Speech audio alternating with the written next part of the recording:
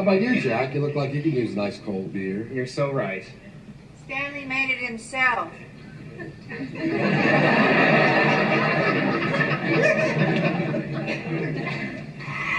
I strained it through a pair of Helen's stockings. My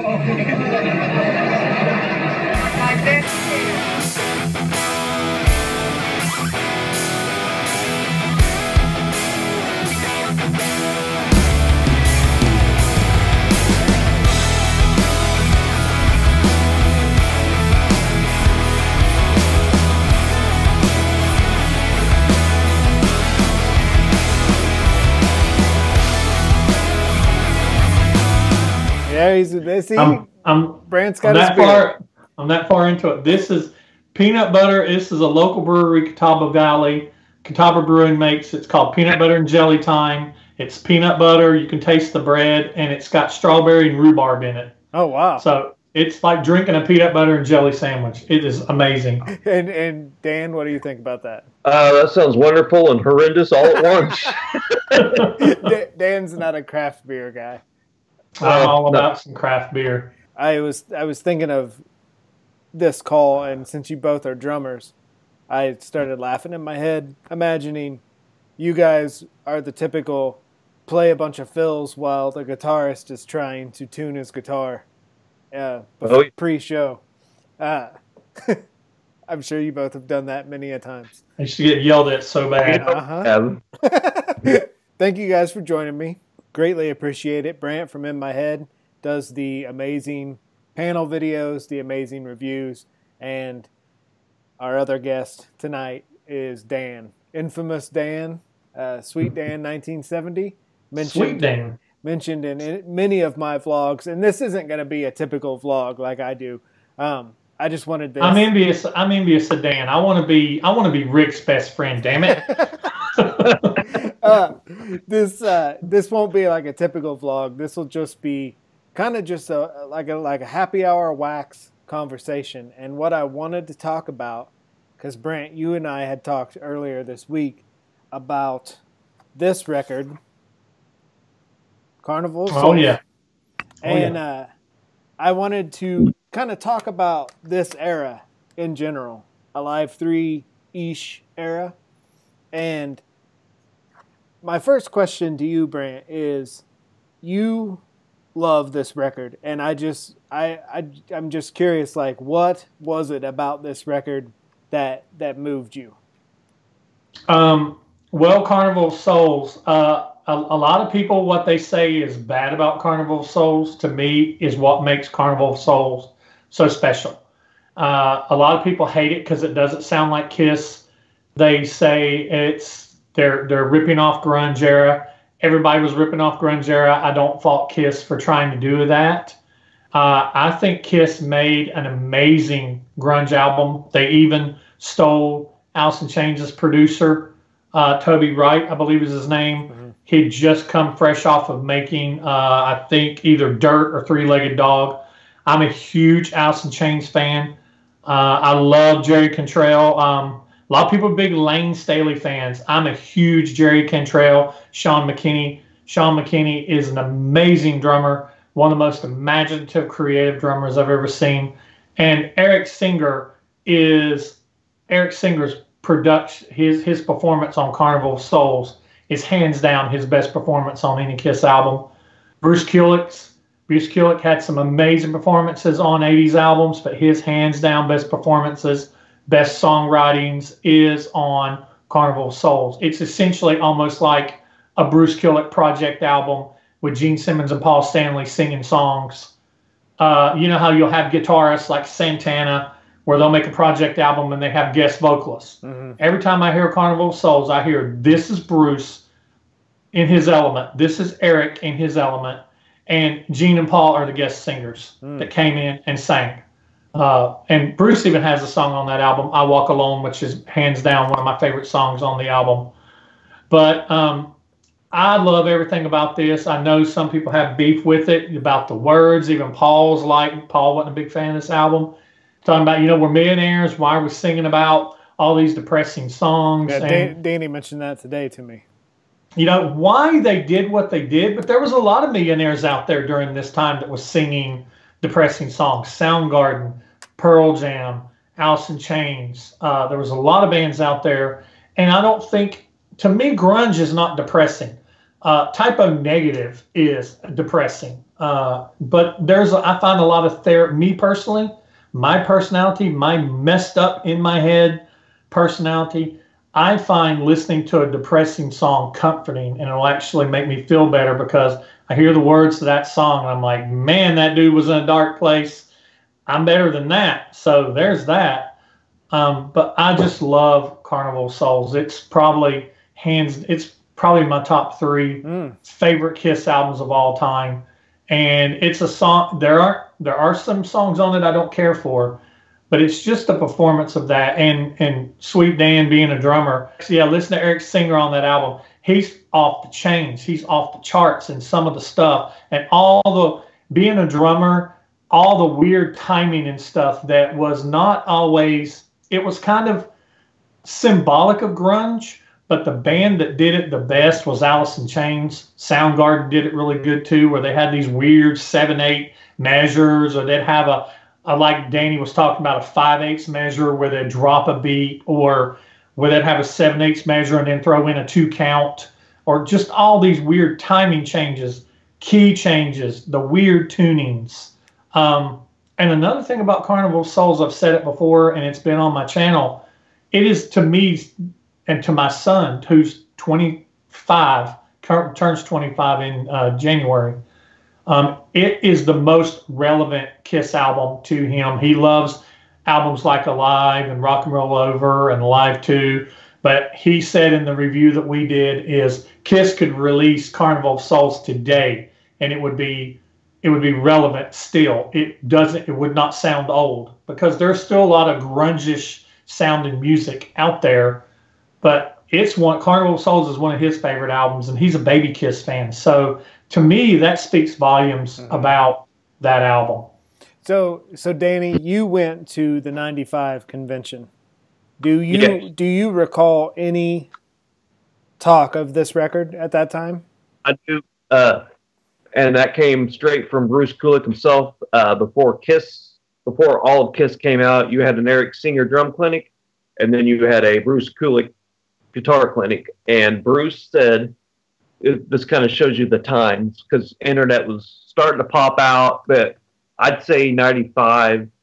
That was that was probably the pinnacle of like bootleg CDs and everything. And uh, Bruce Kulick's Q and A uh, someone said, "Do you have any new riffs you work are working on?" And he goes, "Yes, actually, on our new album, I could play you the riffs right now, but I'm not going to do it because one of you is going to have a tape recorder in your hand, and it's going to be everywhere before we even release the damn thing." Those were his literal words. So we Oh. did not get to hear any riffs, but that was him talking about it. And then, literally a week later, what's that place in Kansas City called Seventh Heaven? Yeah. uh, they already had Carnival Souls on bootleg, and sure enough, yeah, I swiped it because I can't remember what fanzine me and you subscribed to, Rick, but there was a lot of talk about Carnival Souls, what the song titles were, and what it sounded like, and we were all getting jazzed up. And then to finally actually have it in my hand, even though it wasn't the best quality, was I can remember that like it was yesterday. See, and I was, I remember I was 22 and I was hugely guilty of listening with my eyes and, mm. you know, listening with huge judgment. And I didn't like alternative. I didn't like Alice in Chains. I was a hair metal guy. The 90s ruined a lot of the bands I liked. And I, I remember judging this record a lot. And to me, to this I did. day, to this day, this record feels like the Elder used to to me. Like the the way the Elder felt to me in high school.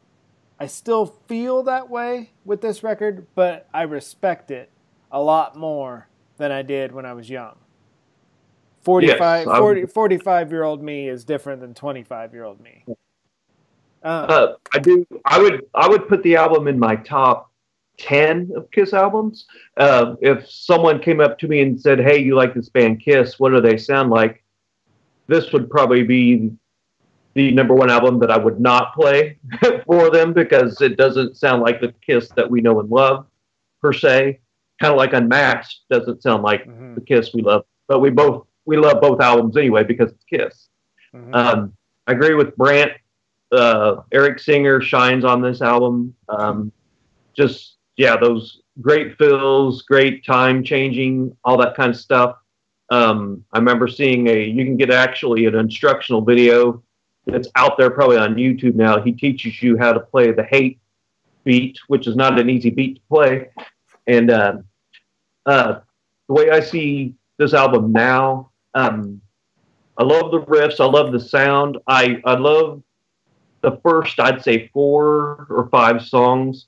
After that, it starts to lose me, and I honestly couldn't probably even, except for in my head and um, I Walk Alone, I would not be able to tell you any of the other titles yeah, on it- that. I, it loses me after in my head. It, I'm really, and that's why I wanted to have this call because even Brant talking today, I know I'm going to go listen to it differently now. You know, sometimes you have to have that voice of reason out there. That that's what I get from the panel a lot. Brant is, um, I'll hear someone's take on a song and I'll think, wow, and then I'll go back and I'll listen to the song again and it's different. That's why my first question to you was, what sucked you into this record? And I know I'm going to go listen to it differently now. I was listening to it before we, we talked tonight. Master and Slave is a great, great song. I'd not heard much about this album until it came out. It was I wasn't I wasn't really looking for it, and I didn't hear the bootleg. And I remember when it came out, I remember being in the record store, and we had this record store we used to go down to uh, called the Record Bar, and there was this hot ass um, uh, person that worked there. She used to be a stripper, and uh, and uh, she was just hot, and we'd just go in there just to Google at her first.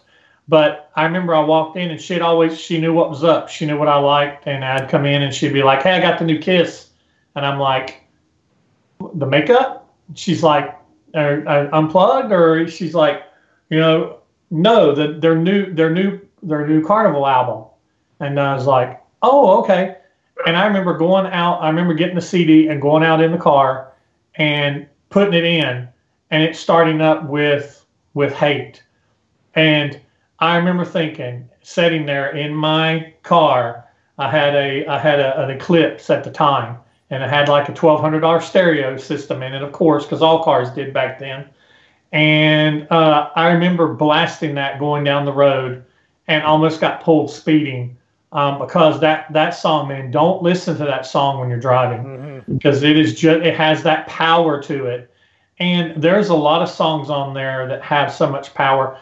If you want to hear something really cool it's very short but it's where eric singer shines. And i'll tell you rick and i know uh, sweet dan knows what i'm talking about is on um, on the uh, bruce kulick song it's pretty docile. The song's pretty docile all the way through, and I love the the way it builds. And if you listen to it with a musician's ear, it builds and builds and builds.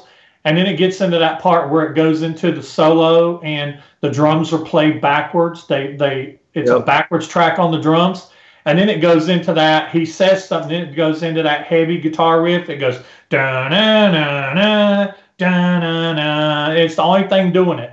And then Eric does this triplet thing where he is he does a triplet is three notes. So it's like the first one he hits with a hand the second one with the foot the third one with the hand and then somewhere in there he alternates to where it flips over to where it's the bass on the first a hand on the second and then a bass on the third. And he just is going down his kit. It's before it busts back into where um, Bruce and Gene come in going, and I know deep inside of me that if that right there is the price of admission for me for that whole album, just that little Hmm. 30 second. Now I know what I'm going to listen to as soon as we hang Yep. this call up. Exactly. Listen to that, man. And when you hear it, just appreciate just that little, about four bars of Eric just going to F off. Hmm. and and and the technicality, if that's a word, behind what he's doing. I've sat and I've drawn it out, listened to it, put it in a program, slowed it down, trying to hear individually what he's doing, and just that little stuff right there, he shows the kind of drummer he is in just that one little spot. That that see, and that's what I wanted out of this. I I wanted sparks of fire, you know, sparks of Well- sparks of magic, you know. Uh, speaking of uh, hate, so me and a few buddies uh, decided to start a new band. I was kind of the the last player in this thing because my buddy Todd said, "Well, if we're going to do this, I want to bring my da- my friend Dan in because I've been wanting to start a band with him." And they're like, "Okay, Dan can sing a couple of these songs. Uh, what's what's Dan's list of songs he wants to do?" And of course, they all know I'm a big Kiss fan, so they knew what was coming. And you know, and I picked some T Rex, some oh, I can't even remember what else was on there. Some weird, obscure stuff because we're trying to stay away from your common top 40 rock hits. But of course, what Kiss song did I pick? I picked Hate. Out of any Kiss song I could pick, I picked Hate. That's awesome. And, uh, Brant, I know you'll know what I'm talking about instantly towards the beginning of the song when uh, man was created in the image of.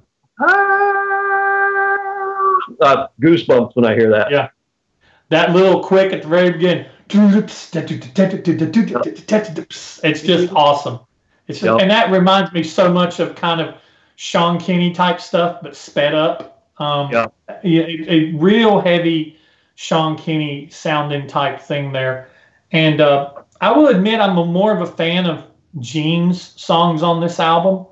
Uh, Yeah. But Paul has Gene has some stinkers. Paul has um, some sh- some uh, songs that really shine. I love Rain.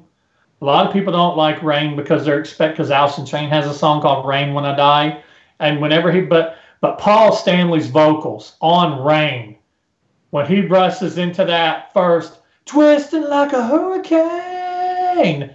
I Yeah. mean, oh my God! And when he's when I'm gonna rain, he drops down. It's like that is the Paul. That is the Paul that I know and love. And um, the song on there that he wrote for his son um, Evan, um, "I'll Be There." That's just amazing to me. The guitar work in it and Paul's vocals in it.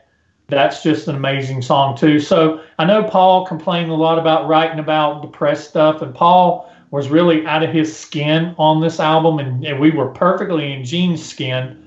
Um, but Paul found a way to, um, he found a way to still be Paul, and I respect him for that. He put on solid performances on everything that he did, and just those two songs alone, "Rain" and uh, "Jungle," is good too. "Jungle's" too long for me. I don't like the whole thing going on at the end, but that was kind of a grungish 90s type thing too, where they did that. They borrowed heavily from Alice in Chains on that. And I mean, I guess I love this album so much, like I said, because I'm a huge fan of, of Alice in Chains. They, I'm, I'm not a big fan of the grunge era, and I do not consider. Um, I think we lost Dan, Yeah. but Dan? Jupiter 16. Hawaii to 16. Hawaii to Jupiter 16. Are you receiving me? Come in, please. Over. Hello, Houston. Hawaii. We've lost all radio contact. We've also lost him on the scope. First off, Brant has this record on album, which is cool. I didn't. Have you have you opened it or is it on a, is it sealed? uh, it's Oh, sealed. I haven't seen that on album. I know, me neither. Um, Was that a sound of vinyl or a record store? no, it, it's no, it's a 2014. It's part of the 2014 reissues. Um, I've got Alive Three on vinyl. Mm, and I've got I've got Carnival Souls Wow. on vinyl. I bet. I They're bet, both. I bet that sounds delicious. I'll, I'll know one day when I open them.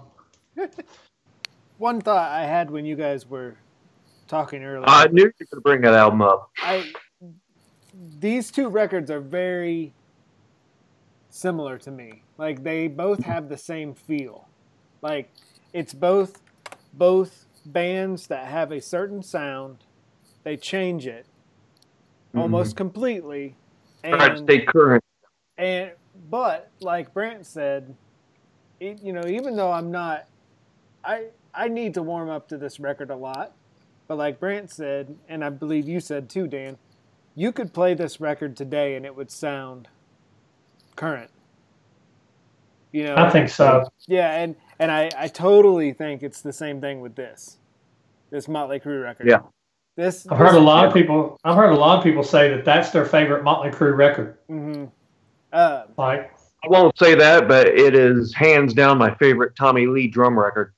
oh, totally. That's So, how how much do you guys love the era of Bruce, Eric, Singer, Gene, and Paul? I love. It. I that that's the era I want back. Yeah, uh, that's when like like if I were to if I was a twenty something and I wanted to start a band today, and I you know if I was out in L.A. or New York, I I would even to the point that that's how I'd want my band to look because it doesn't have the 80s glam cheese that was getting old by 1989 90 that Nirvana killed off. Um, it doesn't, but it doesn't have that death metally or grungy, you know, I just got off work look at the same time, which I can't stand that either. Uh, it's, it's, I think it's how a rock band should look. Still larger than life, didn't, doesn't need the makeup, uh, uh, top of their game as far as their instruments individually. mhm. my thoughts on that is if you take the, um, I love well, I love Asylum. Um, I'm not, and I will I will self admit, and Rick knows this as, as to be fact since he's known me for a couple years now. I'm not the biggest fan of the next two albums after. Um, I had never when I when I bought Cra- uh, Crazy Nights on vinyl recently. I saw it in a record store and I bought it. It's the first time I've ever owned it. Um, and Hot in the Shade, I went and saw that tour and didn't even had not even heard any of the songs off the album. I listened to it on the way to the show. I loved the show. Awesome, awesome tour, awesome concert. Hot and Shade was. Um, the album is hit and miss very much um, for me, but to me, Kiss, what they were, that that that band of Kiss, it morphed a lot, especially when we got Singer into the play.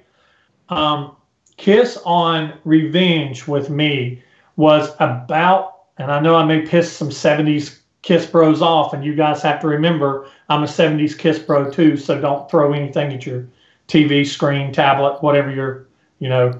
Um, but to me, at that point in time where they were, taking the 70s aside, at that point in time where they were, Kiss was about to, Revenge album was as close as they can come to being a legit heavy metal rock and roll band as they had ever came. Revenge, that era, that tour, that album, that look, that sound, that feeling, that camaraderie that they had on stage. Still four professional dudes. I'm sorry I'm not a Tommy Thayer fan, but just that feel that those four guys had as close to a legit rock and roll band, heavy metal band as they're going to get.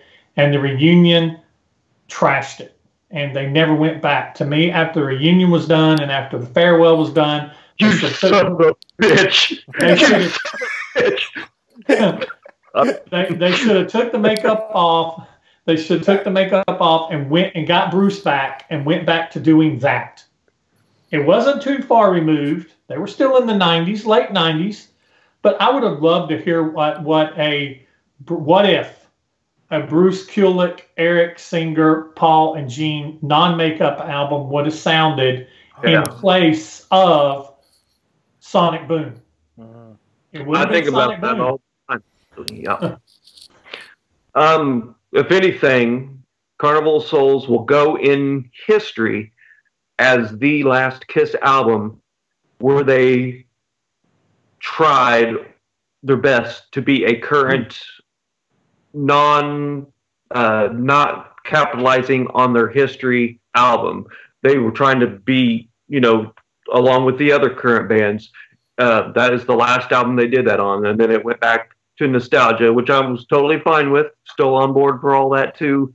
Um, uh, a lot of bands do that. They they try to go as current as they can. They realize there's no, we're not going to make any more money because at at the end of the day, especially for a band like Kiss, it let's not fool ourselves. It comes down to the money, and they, they saw the writing on the wall. And uh, I would have done the same thing if I were them, especially when you know you can go back to your 70s glory heyday and get a whole new fan base. Uh, but that's usually where the musical exploration ceases.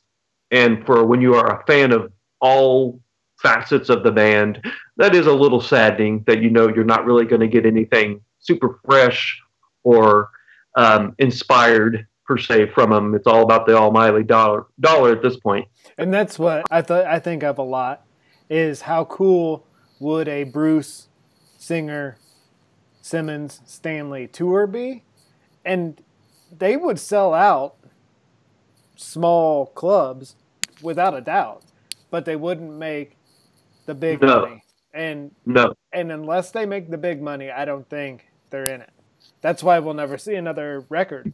right.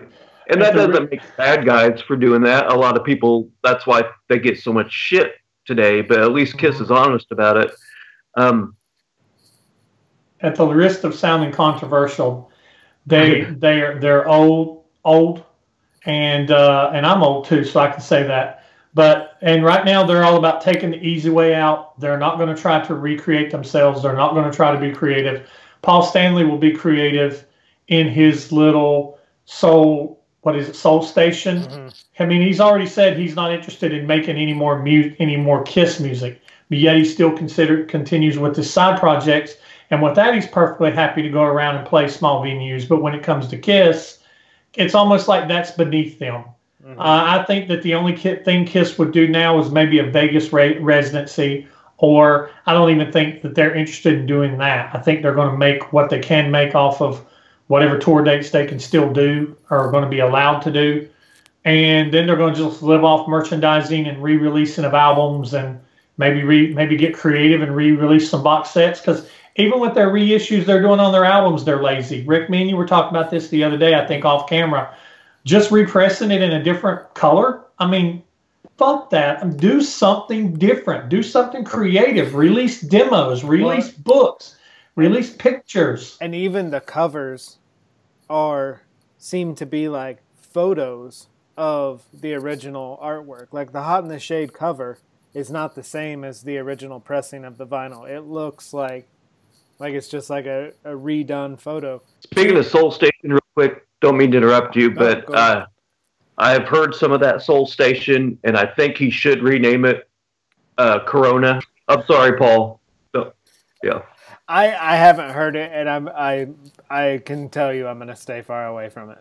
That's just not my era of music. I didn't even get into Live to Win because I did not. it seemed very Nickelback-ish. I people will probably get mad that I said that, but I just stayed away from it. Also, Paul actually admitted in an interview that he intent intentionally made that album more of a Nickelback type of album. That he Hmm. needed to get that out of his system, and and he did, and that's it. And m- much like the Gene, uh, what was that called? Asshole. yeah. Uh, I bought it first day it came out. Do I listen to it today? Not much. Uh, my friend Mike, Rick, your friend Mike, he, uh, I remember being on the phone saying, uh, "Why didn't you go out and buy the Gene Simmons Asshole album?" And he said, "That's beans. That ain't chili." Talking to to you, Brant, especially, and your love for this record, made me realize tonight that if honestly, if there would be a box set and coffee table book for a record, it should be this, in a way, because this is mm-hmm. kind of the most. Besides the Elder, it's kind of the most Outcast.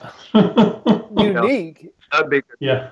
yeah, like mysterious record of the catalog. It is it is the bastard child. It's like they acknowledge the elder a little more than they do um, than they do uh, Carnival Souls. It's like they, and that's what makes me really sad is a lot of the albums that a lot of the things that I'm really proud of when it comes to Kiss are things that they're not so proud of. Uh, I'm I'm proud of and I love Kiss meets the Phantom of the Park. They won't even acknowledge it. Uh, I I love the Elder. They've acknowledged it some in tours and com- and, and and some of the conventions, but but you know they won't. Uh, they don't acknowledge albums like uh, Unmasked they're not playing any songs. I think Shandi. Well, Paul couldn't sing it now, Yeah. but I think Shandi would have been great on Oh, the man. tour.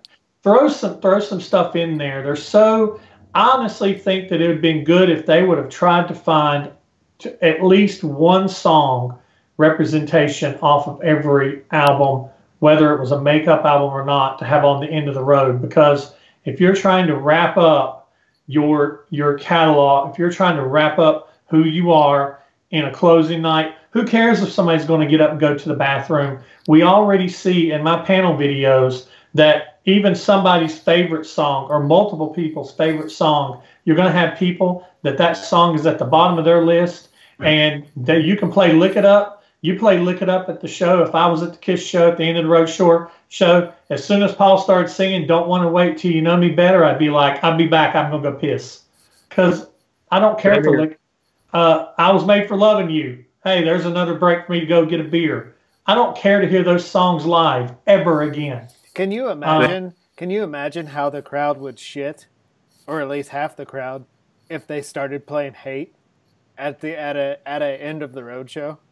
You'd have people sitting there not knowing what the fuck's going on. But by the by the by the end of the by the time they hit that power chord, that that da, na, na, na, as soon as they hit that part going into where you wear your crown when you line six feet underground, as soon as they hit that part, people's heads are going to be because that is metal. That is metal. Yeah. And if you're there to see a metal show, you should appreciate a metal song. And that's uh, That's what's so cool about a band that's been around so long as Kiss, because I mean, I know they chased trends, but when you once the decades pass, you can look at it from back here, and you're like, oh wow, Kiss had a disco song, Kiss had a grunge album, Kiss had a completely pop album, Kiss had a heavy metal album.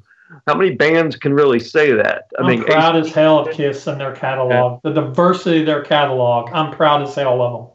Right, me too. And you can't, I mean, and I love ACDC, but you can't say that with ACDC. Every album, you know what you're going to get. You're not going to get a disco tinged ACDC song. And that can kind of make things a little bland. Yes, that gives you quote unquote integrity because you never strayed from what you're known for.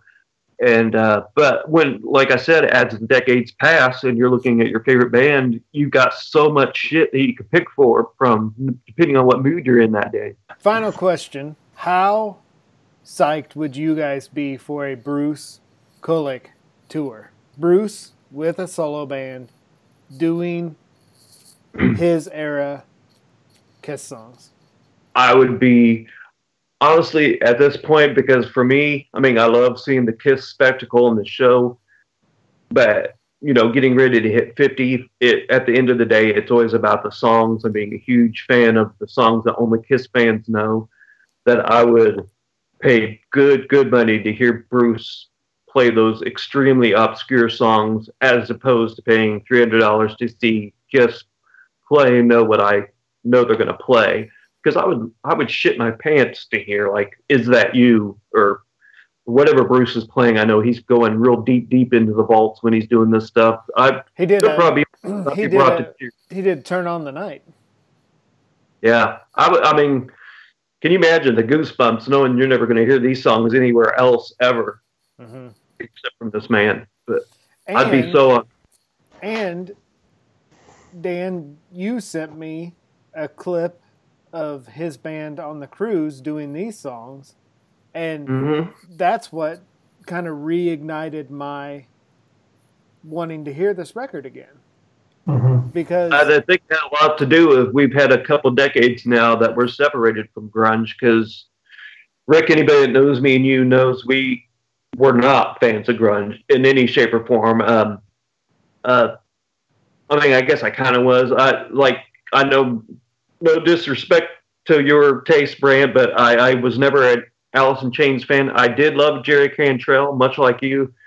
It was Layne Staley that just broke it for me because I, I just never, to me, it was depressing, and I know, I know he was being real with himself and all that stuff. But you know, for me, every day could be depressing. I didn't need any help in that department. so Well, and, Mhm. and my bad thing back then as a youngster was I judged everything. So I judged Alice in Chains as alternative. They were a metal band. I just didn't realize it. I didn't He did realize have it until my 40s. glorious riffs, and I even like I even like yeah. I there was a song I just heard on the radio recently. I know they mentioned this the word California in the song over and over again, but that it's that Jerry Cantrell riff that sucked me right in. So They've got a they've got a song that's probably a couple years old now called Stone, which is really good. Uh, Alice in Chains is one of those bands that they've managed to maintain their sound and uh, and and if you've never heard Jerry, if you're a Jerry Cantrell fan, if you've never heard his solo album he did called Boggy Depot, oh, yeah, Boggy Depot is amazing. You owe yourself to look it up because Jerry that's all Jerry Cantrell, Sean Kinney, and Mike Starr. It's basically Alice in Chains without Layne. Um, and it's and that could have been a band, just three Alice in Chains could have been a three piece band. No disrespect to Layne. Um, I my favorite Alice in Chains album with Layne Staley on is their first their first album. The song Love Hate Love I think is amazing. They have Man in the Box, of course everybody's heard. We Die Young is a great song. uh, it ain't like that anymore. It That ain't like that anymore. Yeah. Um, Bleed the Freak, that piano at the beginning of it, and that slide guitar. eh. I mean, it's just great. But uh, talking about Bruce, the question you asked, Bruce's band, I would I would go see them. I would go see them if they were playing a club or whatever. I would go. I would go just to hear. I actually did a video whenever Kiss did the Kiss Cruise, and I, I play clips from each one of those um, talking about it. And I believe it's the same clip that you're talking about, Dan. And I would love hear. I'd love hear the full versions of these songs, not just a uh, you know a melody of them, where they did one song that was like four four songs in a melody. Um, yeah, and Bruce Bruce Kulick's band is awesome. They sound they sound awesome, and he sounds good. He to this day sounds good. You watch him on his Instagram, and he's there just playing stuff by himself and talking. He's a very personable guy, and he um, he just sounds awesome. I have a lot of admiration for him. So, but yeah, I'd definitely go see a Bruce Kulick and band tour. Um, And- and I, I- definitely would. And and on that, I think I could be wrong, but I really think we are on the verge of a total like kind of like nostalgic wave of the non-makeup era. I really Mhm. think like that's going to become like the cool thing all of a sudden. Like Mm. so buy your non-makeup merch now because it'll be skyrocketed one Right. day.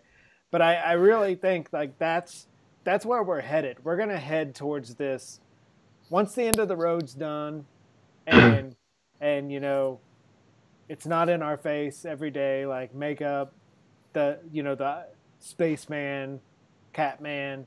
Goes back to being grassroots again. yeah, Yeah. i think hmm. i think it may not be the records that are celebrated but i think that lineup i can see animalize live uncensored hmm. being like this like oh have you seen that? or like a blu-ray release. At least uh-huh. that's what i hope You'll start seeing the Asylum T-shirts again with the four faces on the front of it. the Quick, hot in the shade, the hot in the shade T-shirt. quick Carnival Soul story uh, that just happened maybe two weeks ago. Uh, I got a nice Bluetooth speaker for my TV, had it on uh, YouTube, and was just playing all kinds of Kiss songs. Stephanie, my girlfriend, was in the other room, and it started playing um, Master and Slave. And uh, Stephanie came in, looked at the TV screen, and goes, "This is Kiss." I go, "Yeah." She goes, "I thought you were listening to Stone Temple Pilots," because um, in in her uh, defense, the riff to Master and Slave is a quite a bit like um, what was the Stone Temple Pilots songs, sex type thing. but There- wasn't there's a that lot of- wasn't that a ripoff of uh, war war machine a lot of people Se- say yeah, but it's a full That- circle that- because that was a rip off Yeah. of War. Yeah, because Yeah. that dun Yeah. Arm, arm, arm. Yeah, that was a good album too. I loved, I liked Stone Temple Pilots. Man, I'm going to go back and listen to that too. Um, their first album to me is is the best one when it comes to that. A lot of the grunge album, a lot of the grunge in that Seattle era, their first albums are like really the best. Like Pearl Jam's Ten was the best. Soundgarden's first album was the best. Although I'm a fan of Black Hole Sun, um, but yeah, uh, that's the, that's what I was going to say. that is the cool thing about me and me and my son said this in our review of it. My son said my son Steven said this is one thing I like about this album is it, what a lot of people say is it doesn't sound like Kiss. I think the good thing about this album is that it doesn't sound like Kiss because Yep. That's the one thing I love about it. And you're right, it does not sound like Kiss. It's one of those albums where you can play a song and you that may not be a song that's popular. They'll be like, "Who is that? That sounds like Kiss." You're not gonna get that out of Carnival Souls. Hmm. if if you're at a Kiss concert, if even if it's end of the road and you strike up a conversation with the fella or the girl next to you, and you maybe mention or hear her mention like a song from Carnival Souls, you know you've got a diehard Kiss fan because, like we both know, a good way of weeding out a, a Kiss fan versus a person who likes Kiss, you know, if, the golden rule: if they say "Rock and Roll Night" or "Beth" are their favorite Kiss songs, you're out. Just kind of an unwritten rule. Or there. they or they say the the one guy with the tongue. Yeah, Oh, I'd be like, I'd be like, "So, what do you think about the song Under the Rose? You like that song?" Uh, Yeah. Well, what about I- Jungle? What about Jungle? You a big fan of Jungle? Putting that bass line to Naked City, how do you top that? right. I appreciate you guys taking time out of your Friday night to uh, talk to me because now we all have our homework, and that is listen to I Walk Alone for the Eric Singer drum fill. And uh, It's amazing. It's life changing. thank thank you for this because I I don't I don't dislike this record. I just need to warm up to it more, and it always it always helps for me to talk to other fans. So I appreciate Yeah. that. Thank you guys for hanging with me. I love talking Lost Sheep Kiss albums, and this is a Lost Sheep Kiss album. Yes. Give this album love. It deserves it. I will. I will. open up, open up. And and Alive Two and Alive and Alive Two are not the only good Kiss live albums. Amen. Amen to that. I love this record. I really do. Me too. I, Give uh, this one a chance. Give this one a chance too. Brant, if you've never seen it, watch when Gene and Paul were on the Howard Stern show trying to promote Alive 3. It's the weirdest interview you'll ever see with them. It's a I'm good gonna one. check that out. I don't think I've ever seen it. Yeah, it's a good. Oh, one. yeah. And it's pretty much, they're still pretty fresh from Eric Carr passing at that point. Oh yeah. Um, it's Yeah. Howard pushes them a little. Yeah, it, it Oh. gets it gets tense there for a minute because uh, right before that interview, Howard had uh, kind of made fun of Eric Carr on the air because Eric Carr's friend called him and told him to do it because Eric Carr was a Howard Stern fan. So Howard Stern was doing it kind of like a tribute, and Gene found out and it really pissed him off. And so they it gets tense there for a minute in this interview. It's Okay. neat. But thank you guys for joining me. I really, really appreciate it. Brant does the amazing, amazing Kiss reviews. Check out his back catalog of YouTube videos. Man, just talk about in depth reviews of records and thoughts that'll make you want to go back and listen to the record. His box set reviews will make you want to go back and listen to the box set. And of course, the panel is so much fun because you hear everyone's thoughts and uh, it it makes you want to go back and listen to these records and that's the most important thing is hanging out in your basement listening to these records and uh, And I have a feeling we'll all be listening the shit out of Asylum in a, in a few days, too. oh, oh, So- yeah oh yeah uh, and Dan I have been. I have been. My list has changed three times, so I got to fi- I got to finalize it tomorrow. So and Dan thank you for joining me uh, Oh, I will try to step more out of my uh, social media cocoon and get Good. more involved in Dan, this it's good to see you finally to meet you face to face in person at least. uh, Dan's my uh, you know my everything when it comes to Kiss and I just ap- appreciate you every day every day I look around my room I, I think My Like- my friend my friend Scott that's been in some videos with me. He was in. He reviewed uh, uh, Animalized with me, and he reviewed Asylum with me. This is his era too, but he's the one that I scared to death with the Gene Simmons solo album. He was my next door neighbor, so I'm I'm his Dan. I mean, he's still a friend of mine to this day. I'm his Dan, and and he's my Rick. I was the one that intro- introduced him to Kiss, and and they introduced him to music. He used to come and hang out with me when we was in my band. And I remember whenever my band Lydia's Bridge, when the bass player left, we brought him in, and I've got videos I've shown it where I'm actually showing him how to tune his bass. And now he's a bass player, he's a singer, he's a guitarist. He plays in three or four different bands, and I mean, he's out there living that rock and roll lifestyle and playing to people out and playing. And he was telling me, I was talking to him just today. He's like, man, this Corona stuff sucks. I can't go out and play live, and I'm itching. I'm sitting around the house just playing to myself. He's like, I'm going crazy, man. So, and that just to hear that, that I had that kind of influence. It, it whenever I see you and Dan, it reminds me a lot of, of me and of me and him. So, yeah. Every Kiss fan has a Brant, Dan, or Rick in their life Mhm. that, that needs to problem. Yeah. So, Yep. That's awesome. Yep, and Rick's Rick's already been an influencer to people himself, so that's awesome. It's a circle, like you said. Well, thank you guys for joining me, and uh, and let's do this again. We'll just come up with a different topic, and we'll meet and uh, do a little, little happy hour wax. Go wash your hands, boys. What are you up to, Dan? Oh, I was just to say, once I can safely go to a store again, I need to get some red food food coloring. Do you remember this bad boy? yes, it's that. Yes, that. Brant, this thing uh, made me lose my lease at an apartment in Kansas City because I forgot it was full of blood when I lifted it, lifted it up for the move and it went all over the carpet. oh, And I lived. I lived with him at the time. It looked like it killed a cat in that room. There was like so much blood all over the floor. It looked like I got lucky with a menstruating gal. Oh my god! all right, all right. You boys, oh. you boys have a Oh. good weekend. Everyone watching, have a good weekend. Take care. Wash your hands. We will talk to you soon. See you. bye bye. John, you son of a bitch.